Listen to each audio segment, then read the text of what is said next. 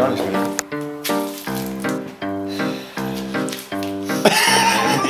Mehr lachen. Komm, ja. Und bitte.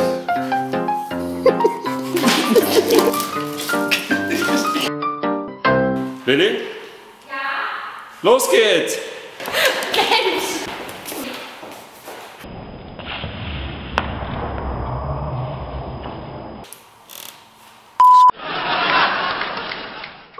Die Adventszeit ist immer die Zeit der Geschichte.